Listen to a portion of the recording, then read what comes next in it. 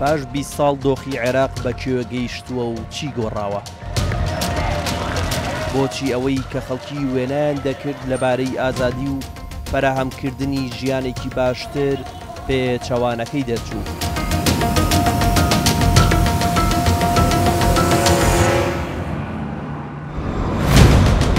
ئێرە پارێزگای بەسڕەیە پایتەختی نەوتی عێراق.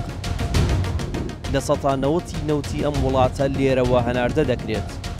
بەڵام ڕێژەی هەژاری بەردەوام تێیدا لە هەڵکشاندایە.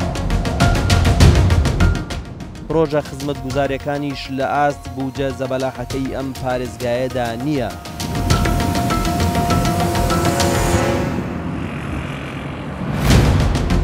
هیچ سیمایەکی پێشکەوتن بە پایتەختی وڵاتەوە دیار نییە.